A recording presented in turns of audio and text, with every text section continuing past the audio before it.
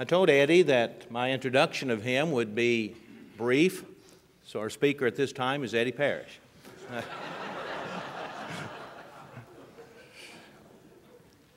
I've had the privilege and joy of knowing Eddie and working with him for the last several years. And uh, I count it just that as a privilege and a joy uh, to be able to be a co laborer here at this congregation with Eddie and, of course, Maxie and Mark, and the many great works that are being done by this fine congregation. Eddie and I have a good working relationship. I first came to the school December the 1st in 2003 as the director, and he and I uh, began to work together uh, in the school. And about a week later, uh, we had a meeting with uh, the elders. And the elders asked us how things were going, and I remember saying, Well, we've got a problem. And they said, Well, what's the problem? And I said, Well, Eddie and I are finishing one another's sentences.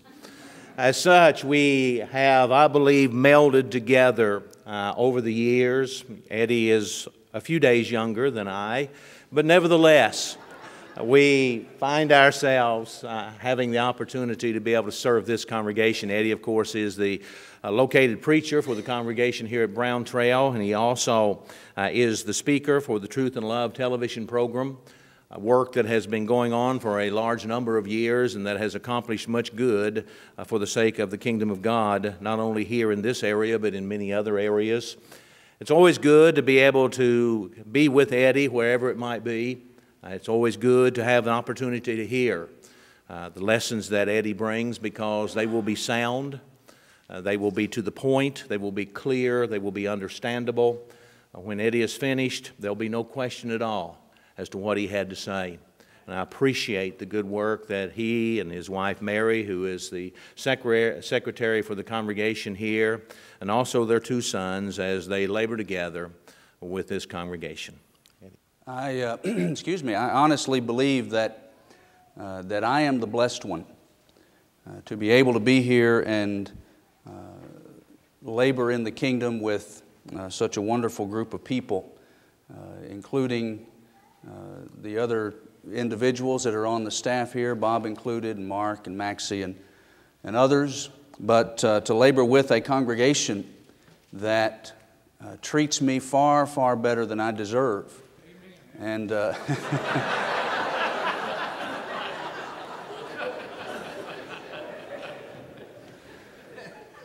that, dear friends, was one of my elders.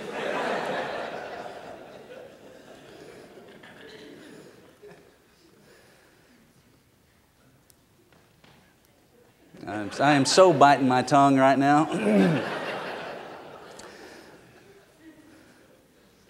Stephen was a man of exceptional character. He was an individual of wisdom, a man of great faith, a man full of the Spirit. Acts chapter 6, verses 3 and 5. These are characteristics that placed him right alongside six others of the same character. They had been chosen to alleviate a problem that had arisen in the early years of the church.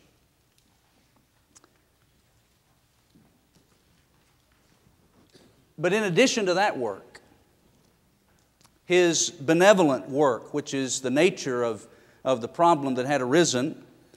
In addition to that work among the Hellenistic Jews, Stephen, full of grace and power, Acts 6, verse 8, preached to and worked miracles among the people. But his work was not always accepted.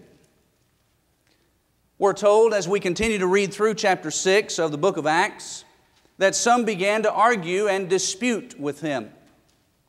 Those of the synagogue of the freedmen, probably a group of former Jewish slaves.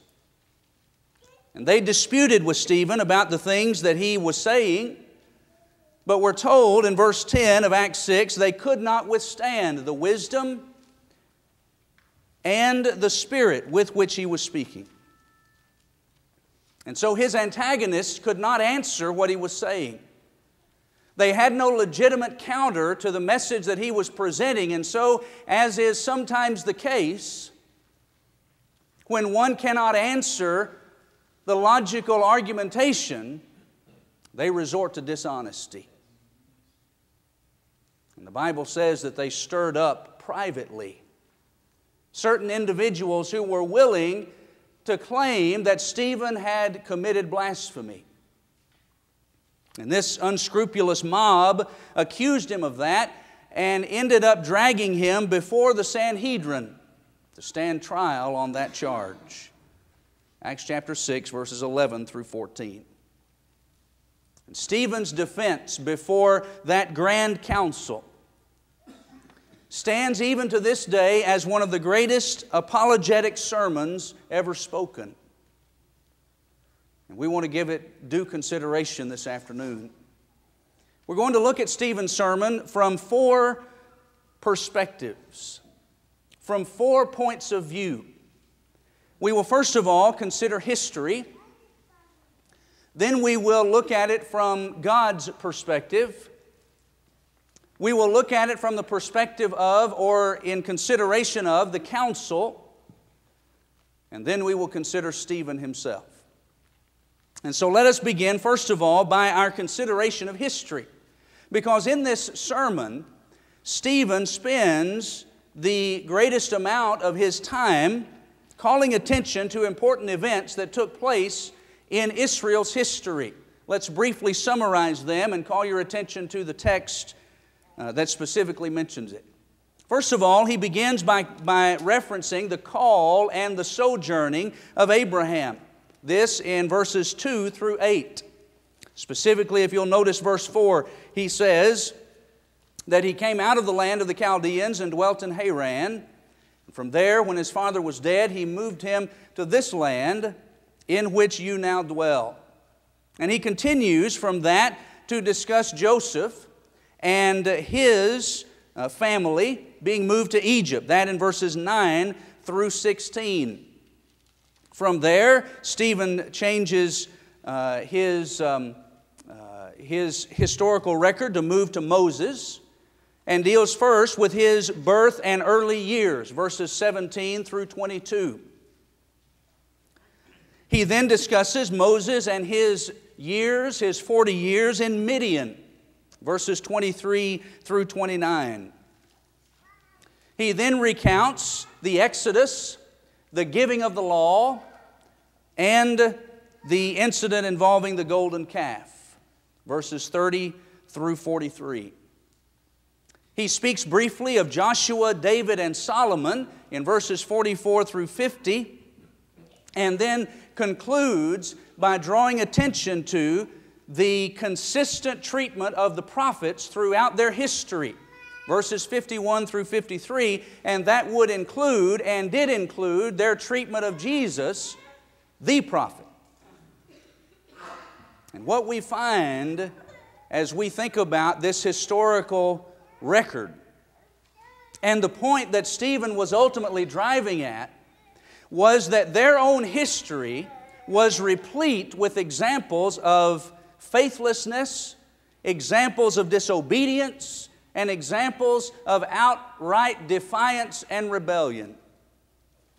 When I read through Stephen's sermon, and especially how he concludes it in verses 51 to 53, I can't help but be reminded of the Lord's words from the 23rd chapter of Matthew, beginning in verse number 29. Listen to what Jesus said to his contemporaries.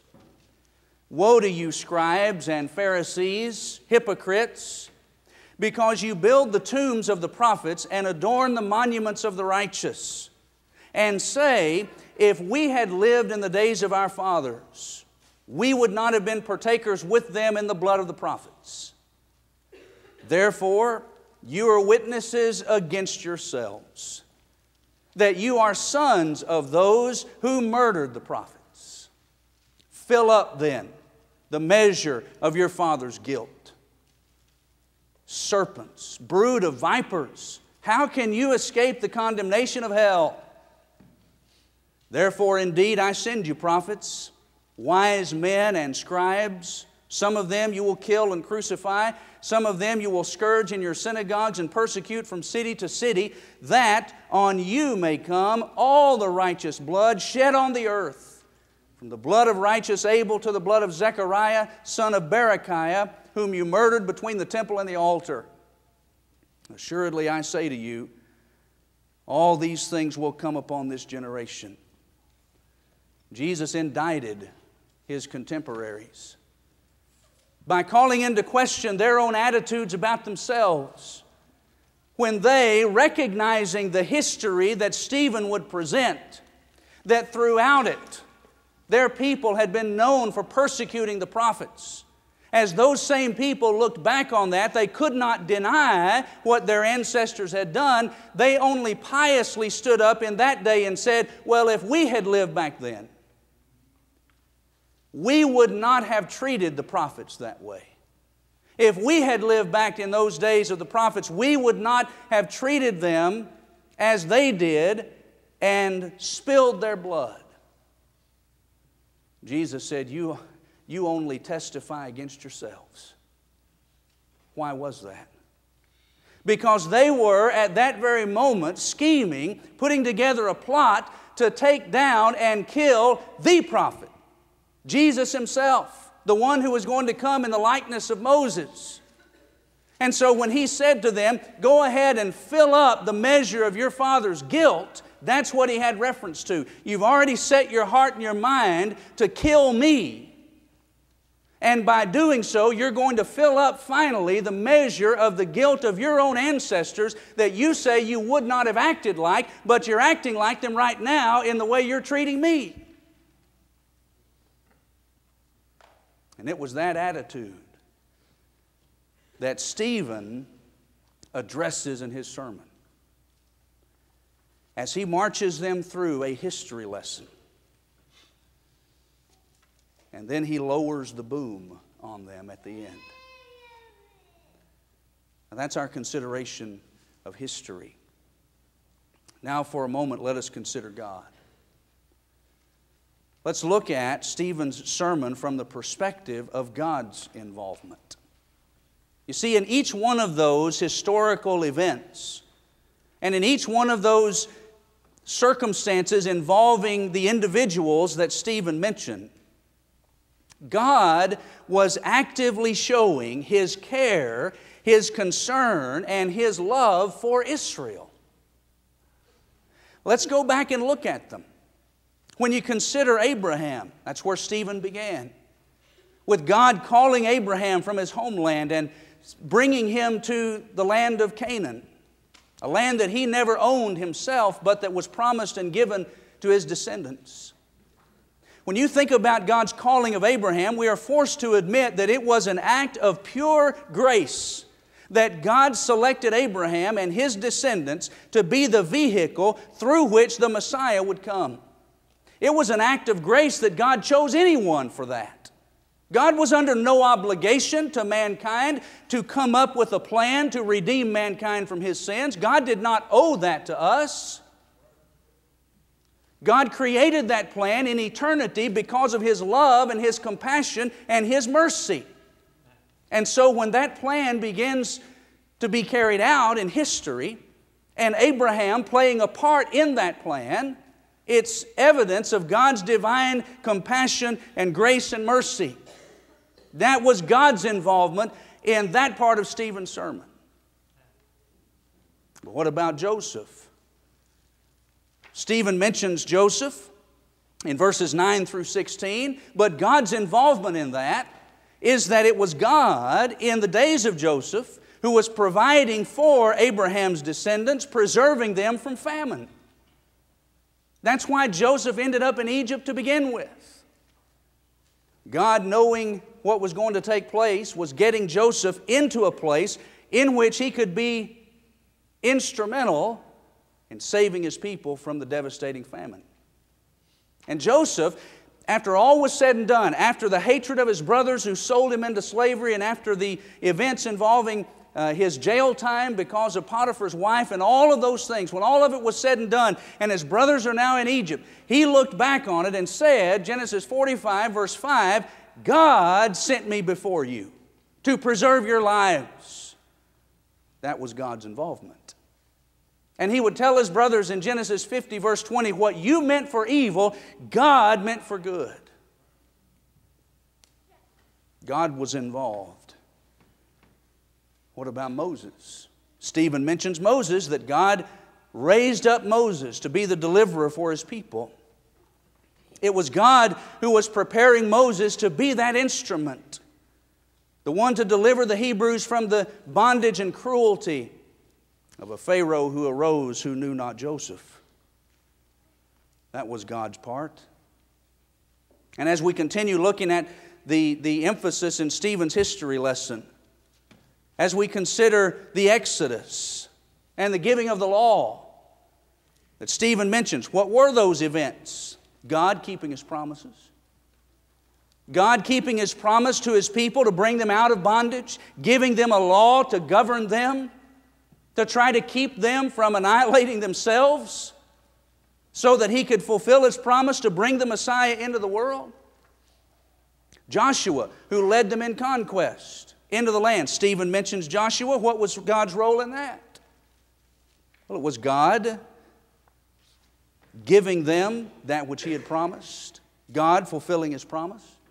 Through David and Solomon, God was active in seeing the kingdom to be uh, being expanded. And every time a prophet was sent among them, that was God at work, trying to give them much needed direction and instruction. And so, as Stephen is given a, giving a history lesson, yes, it's that, but it's more than that. Because in that history lesson is evidence being presented that God, through all of that, continued to show His compassion, continued to show His mercy, continued to show His grace to His people by continuing to keep His promises, fulfill His word, give them direction and guidance. And yet, how did the people respond? to all of those instances throughout history that Stephen is calling attention to. Look what God did. Look what God did. Look what God did. What kind of response did God receive? Well, Joseph, raised up by God,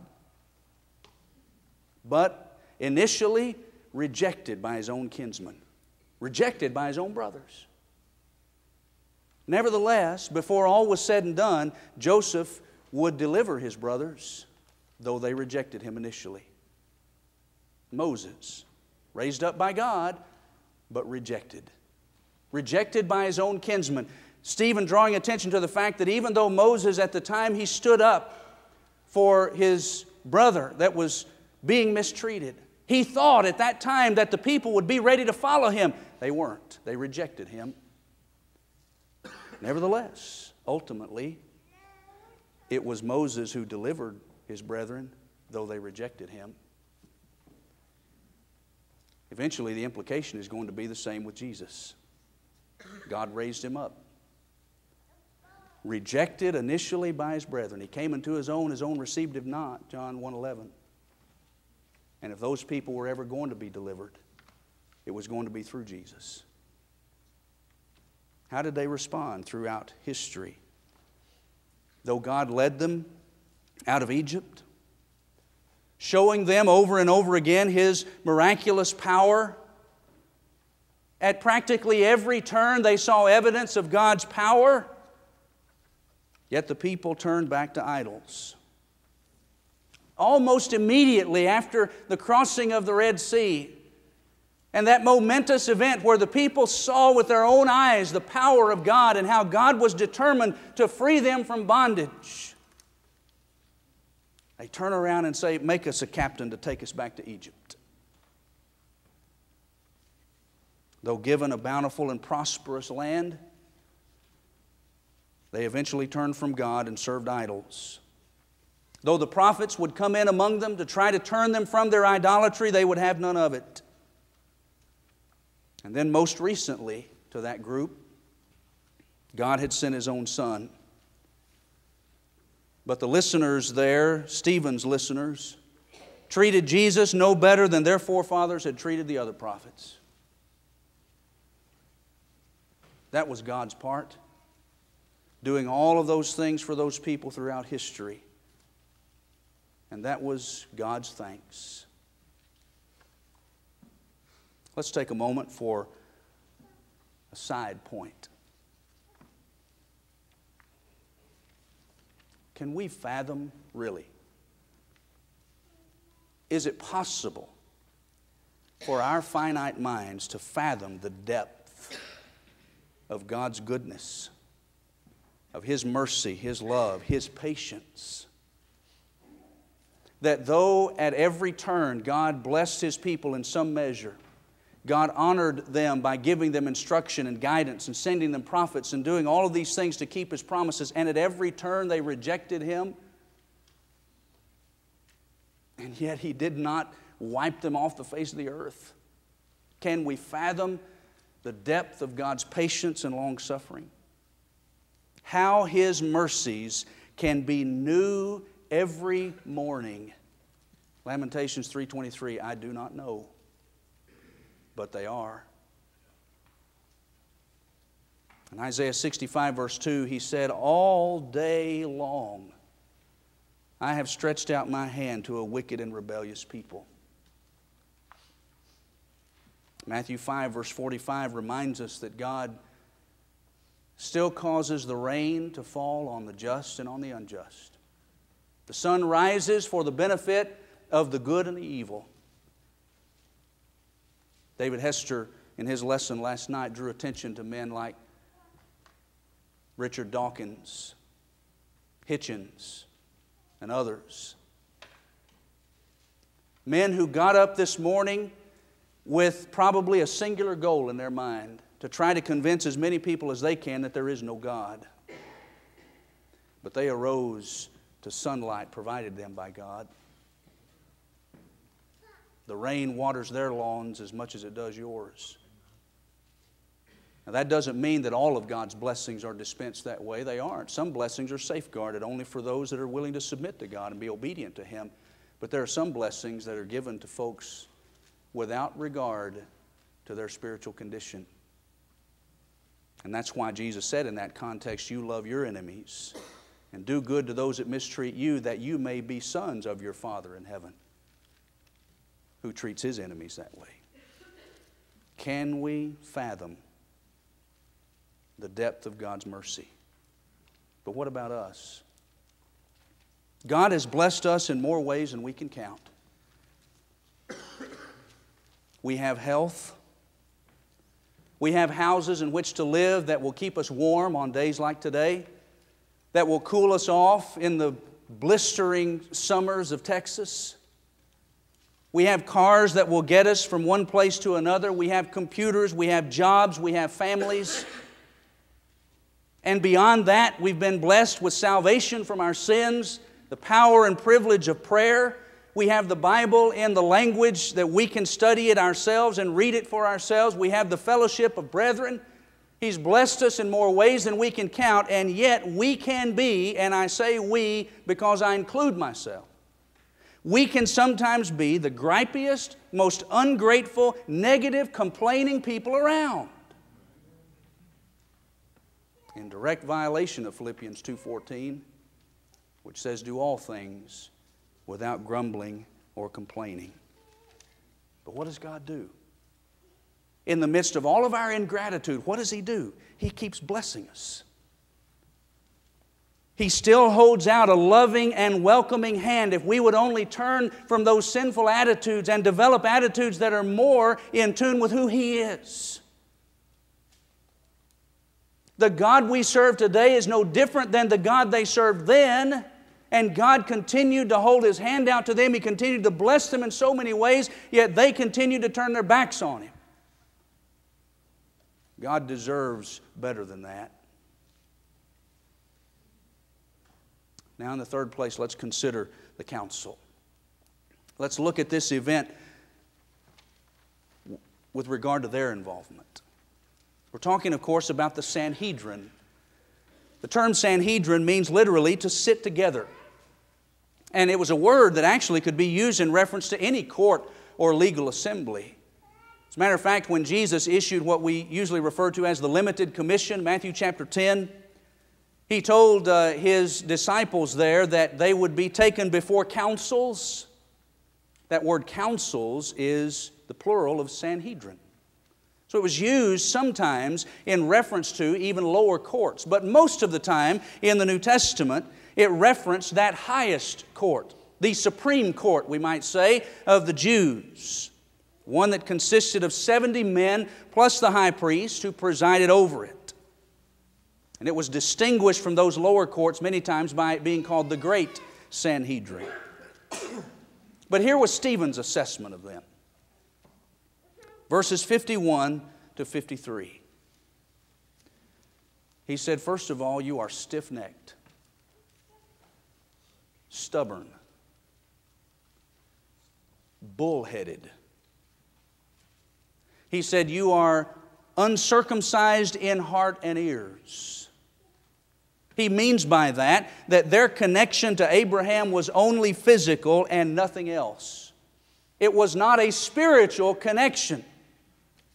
Abraham always listened to God and was obedient to God. You people never are.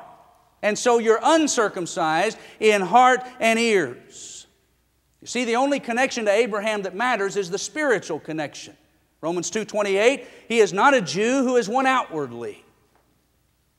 The circumcision that avails is not the circumcision of the flesh, but of the heart. He is a Jew who's one inwardly, paraphrasing verses 28 and 29 of Romans chapter 2. Paul would write, If you are Christ's, then you are Abraham's seed and heirs according to the promise. Galatians 3:29. Abraham listened to and was faithful to God. The men on the council were not. He describes them as being resistant to the Holy Spirit.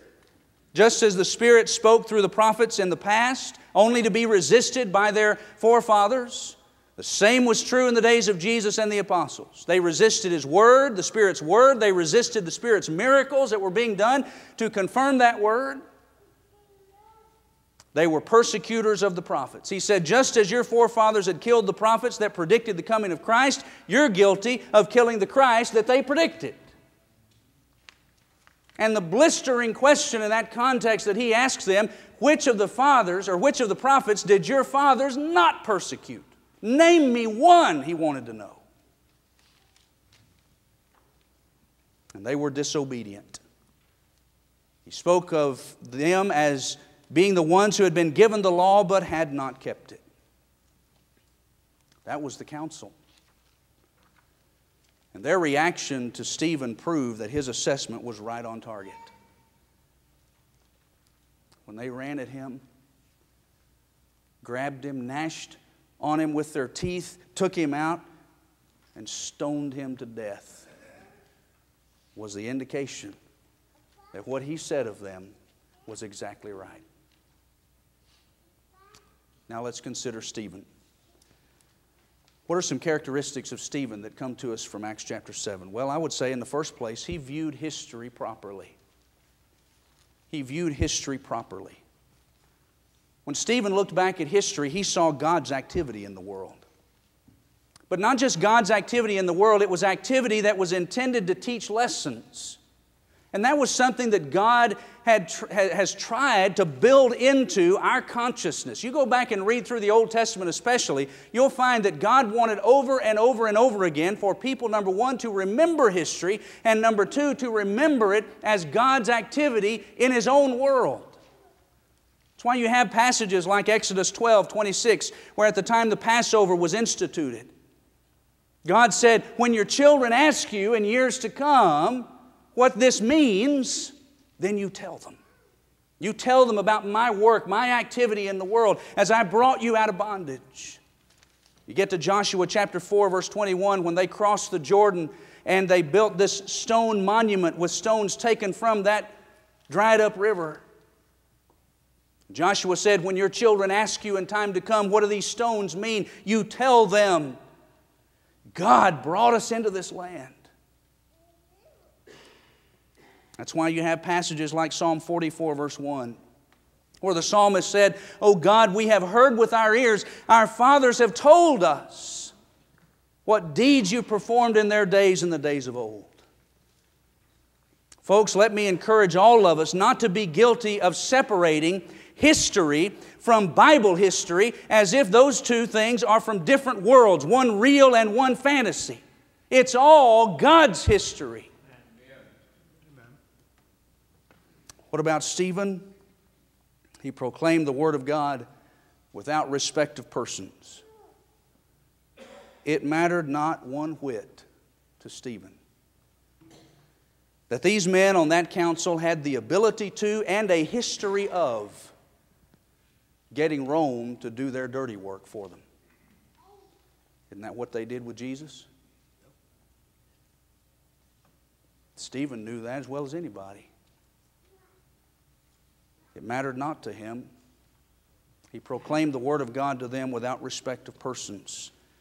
Number three, with regard to Stephen, he did not preach vague generalities, but he preached concrete specifics. Some preachers fail in that today. They're willing to preach vague generalities. Let's all obey God. Let's all be like Jesus. Well, in and of itself, those are perfectly good admonitions. But what does it mean to be obedient to God? What does it mean to be like Jesus? Living today in the 21st century, how does that general admonition apply into the concrete specifics of my own life? If we don't ever get down to that business, are we really doing our job? What about Stephen?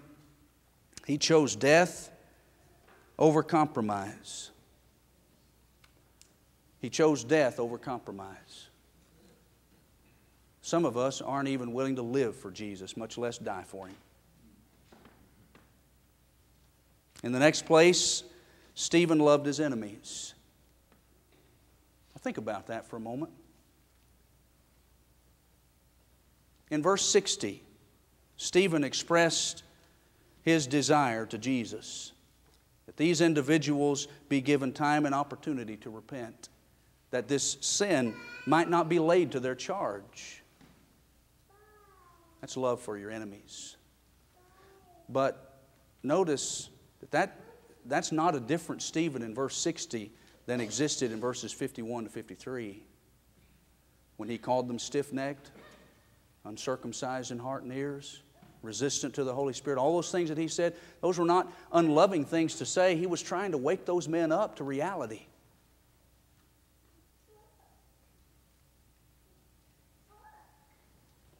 And so, because he loved them, he tried to turn them around.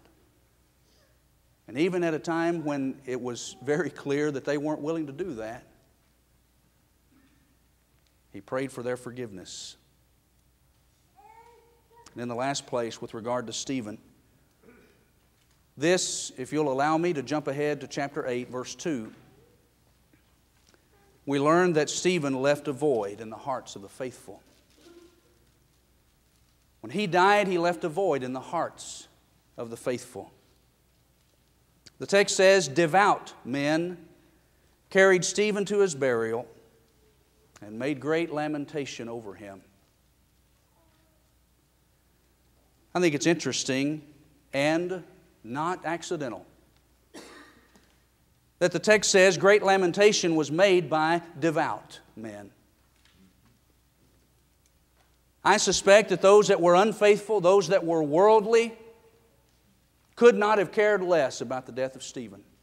That was obviously the case in the lives of those that were bouncing rocks off his body. But there were others too, I suspect, that did not have a direct part in the death of Stephen, That still it mattered very little to them that Stephen was no longer there. But in the hearts of devout men, a great void was left. I think about preachers that I look up to that have had, in some measure, an influence on my life that are no longer here, who have left behind a great void in the lives of a lot of people. I think about Tom Warren, William Woodson, Wendell Winkler, Roy Deaver, Guy Woods, Johnny Ramsey, Avon Malone. Make your list. Men who are no longer here that left great voids in the hearts of devout individuals. And I suspect that there are many people in this world that never heard of those guys. And there are a lot of people who knew who they were that, again, might have cared very little that those men passed from this life. But they left a void in the hearts of the devout.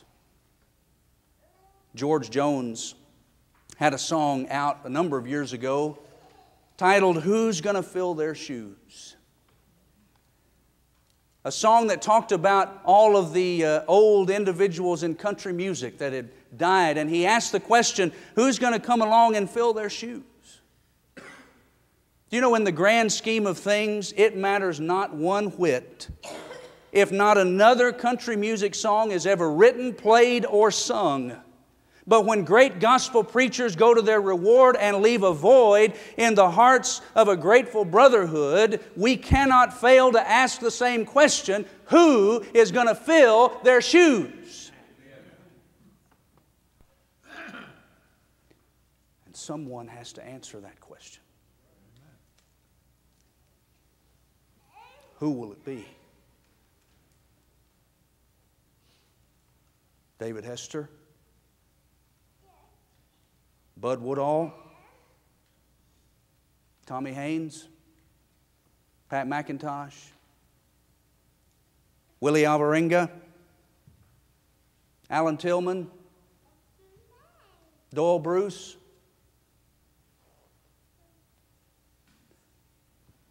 Who's going to fill their shoes? Jesus promised his followers they would not always be liked.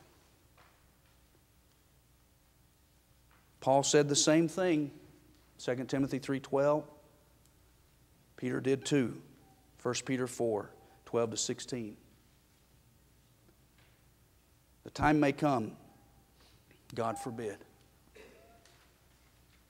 when the persecution that comes our way will go beyond today's verbal ridicule and more resemble yesterday's physical abuse and murder.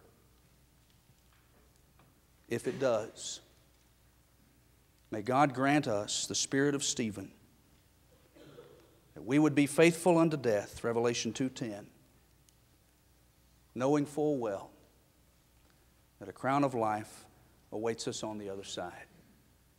Thank you